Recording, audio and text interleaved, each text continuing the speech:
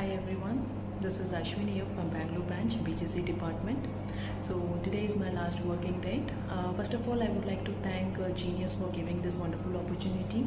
So I have been working here for Genius almost nine months, and I really enjoy working here.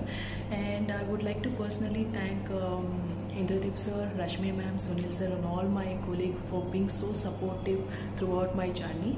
And also thank you for giving this. Um, career growth which helped me to develop my professional career along with my personal development also. So i wish genius to grow more. Thank you so much